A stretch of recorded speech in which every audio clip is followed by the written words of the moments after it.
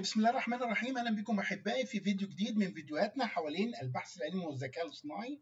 النهارده بنقدم موقع مجاني. هذا الموقع ما زال في مرحلة التجربة. لاحظوا دايما المواقع اللي في حالة التجربة بتبقى مكتوب جنبها كلمة بيتا بيتا معناها موقع تجريبي ولذلك هو مجاني ومفتوح لكن هذا في وقت نشر الفيديو.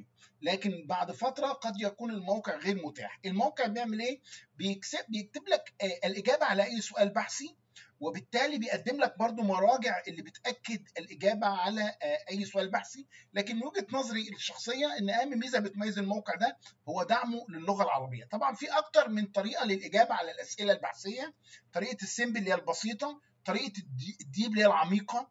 لكن طريقة ال research لسه مش مفعلة عشان برضو الأمور لكن ممكن أخليها deep أو research لكن research غير مفعلة.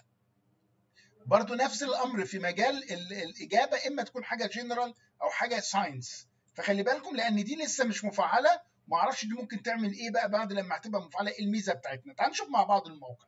كل مطلوب منك بيقول لك ask question اسأل سؤال. خلينا نسأل سؤال باللغة العربية نقول له ما العلاقة بين المرونة النفسية والكفاءة الذاتية لدى الذكور أو لدى الطلبة والطالبات؟ في الجامعة مثلا. ده أنا بسأل سؤال بهذا الشكل. حتى علامة استفهام خلي بالكم أنا عاملها simples عايزكم بعد كده بقى تجربوا الحاجات التانية ديت وهنجرب بعضها. لكن خلينا نخليها مثلا إنها simples بالشكل ده كده. ونبدأ نضغط. طبعا الموقع زي ما أنتم شايفين بيبحث عن ال sources المصادر. بيبحث عن صور ومواقع على الإنترنت. لكن الميزة الأساسية إن بيجيب لك مواقع أو بيجيب لك مصادر هي مصادر بحثية. أبحاث وباللغة العربية زي ما أنتم شايفين. أنا لسه ما شفتش إجابة السؤال لسه لكن تشير الدراسات إلى وجود علاقة إيجابية بين المرونة النفسية ودي المراجع اللي قالت الكلام ده. مرجع رقم 2 و5 فين هم؟ أهو عندك 1 2 3 4 5 6 7 8 8 مراجع هيجاوب عليهم إجابة السؤال. طبعا في مواقع أخرى عشان خاطر انها تديك الموضوع ده هو بتبقى يعني أقل من كده في عدد المراجع أيوه لكن شايفين مثلا إن الإجابة برضو قليلة. عشان كده ممكن نروح على كلمة deep deep يعني حاجة عميقة ونطرح نفس السؤال مرة تانية نفس السؤال نطرحه مرة تانية وهيبدأ يجاوبه أوتوماتيك. لكن المرة دي بطريقة البحث العميق أكتر. فهنجد المرونه النفسية تهدف الدراسات النفسية لفهم العلاقة بين كذا وكذا. فخلينا نشوف بقى هل هيكون أكتر وجود علاقة طردية. في دراسات لقت علاقة طردية. طبعا لابد هيشير لك إليها. أدي المرجع. هذا يعني إن الطلاب يتمتعون بمستويات أعلى. أيضا الحصول على مستويات أعلى. التنبؤ بالمرونة النفسية. لاحظوا بقى يعني العمق اللي تم المرة دي. برضو هنا مرجع نفس المرجع دهوت خلي بالكم ده هو ده. المراجع اللي بيجيبها هي ثمان مراجع زي ما أنتم شايفين. طبعا ممكن بعد كده نطرح سؤال آخر أو أضيف أو هو كمان بيقترح عليا أسئلة تتبعية. بدأ يخش مرجع رقم أربعة الفروق الفردية. تظهر نتائج أيضا وجود فروق فردية في مستويات المرونه النفسية بين الطلبة والطالبات وده يعني هناك اختلاف بين الافراد فيما يتعلق يعني في فروق بين البنين والبنات. العلاقة مع المتغيرات الأخرى في بعض الدراسات بتقول إن المرونة النفسية مثل الرفاهية الذاتية والتفاؤل والسعادة النفسية زي المرجع رقم ستة. ثم عمل لك شكل من أشكال الخاتمة. طبعا واضح الفرق ما بين الجانب ال deep العميق في كمية الكلام المطروح وما بين الجانب ال simple البسيط. طبعا أضاف لك زي ما أنتم شايفين أسئلة تتبعية حوالين نفس الموضوع. ما هي العوامل؟ التي تؤثر على المرونة النفسية. طبعا هنا بيتكلم على بحث معمول لدى جامعة الملك عبد العزيز. كيف يمكن قياس الكفاءة الذاتية لدى طلبات معلمات رياض الأطفال؟ ما هي الدراسات السابقة حول العلاقة بين المرونة النفسية والتفاؤل لدى طلاب الطب مثلا؟ طبعا هنا دي أسئلة كلها تتبعية.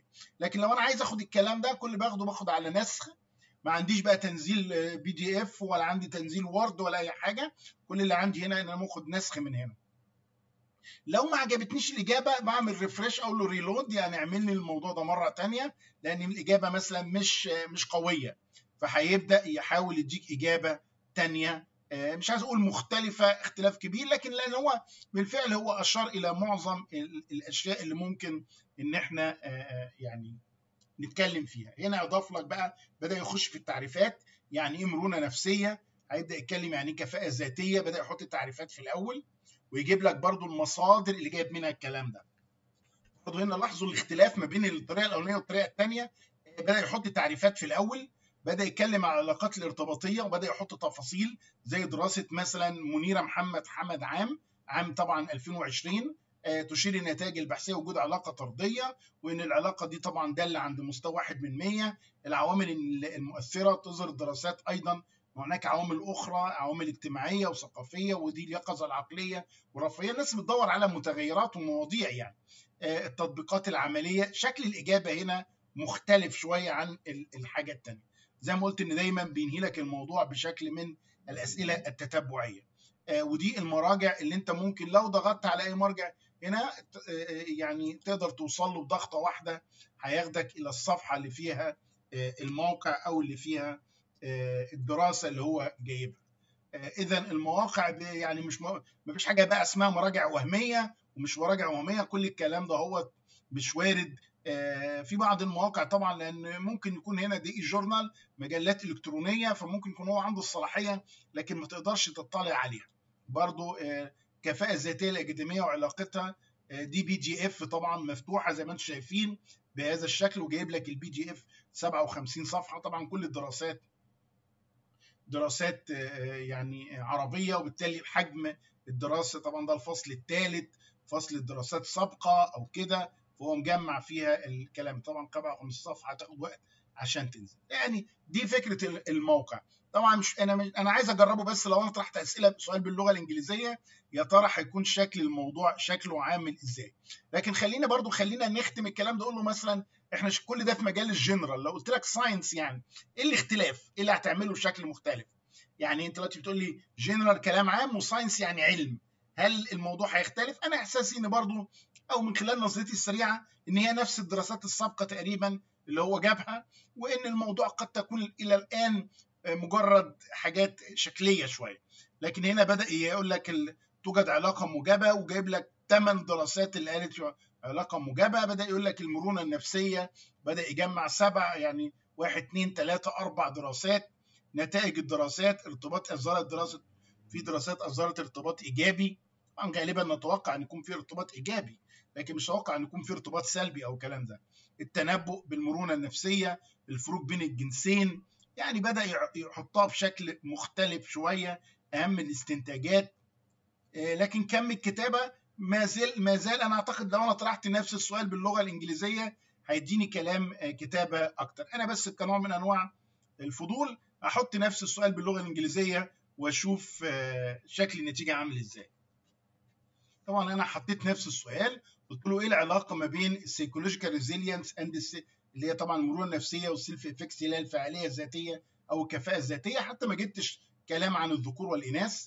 خليني بس وسبت ال deep برضو العميق وال science آه العلمي ونشوف شكل الإجابة في اللغة الإنجليزية عامل إزاي. آه برضو الملاحظة السريعة هي فكرة إن الموقع يعني كم الكتابه تقريبا زي اللغة العربية. المراجع طبعا خرج بقى من المراجع العربية ودخل على المراجع اللي باللغة الإنجليزية. يعني إحنا لو عايزينه يكتب حاجة باللغة الإنجليزية أو يستشير بمراجع إنجليزي فبنكتب له الكلام باللغة الإنجليزية. لكن بصورة عامة هي نفس الفكرة ده إجابة السؤال وده أهم النتائج عن العلاقات. وطبعا يعني بعض الدور الوسيط ومش عارف وأنواع الكفاءة الذاتية والمضامين التطبيقية. يمكن في كلام إضافة شوية لكن بصورة عامة الموقع يعني بيدعم اللغة العربية ككتابة ما اختلفش كتير عن اللغة الإنجليزية. طبعا لو عايز تعدل أي حاجة عايز ابقى جنرال تضغط ضغطة هيبدأ يحملها لك مرة ثانية أتمنى برضو يكون الفيديو ده يفيد كتير من الباحثين في حتة تجميعه للدراسات السابقة وفكرة إنه يعرف إيه أهم النتائج اللي توصل لها البحوث السابقة في موضوع هو بيحاول يجاوب على أسئلة مشابهة أو أسئلة قريبة. أتمنى لكم جميعا السلامة والتوفيق والسلام عليكم ورحمة الله وبركاته.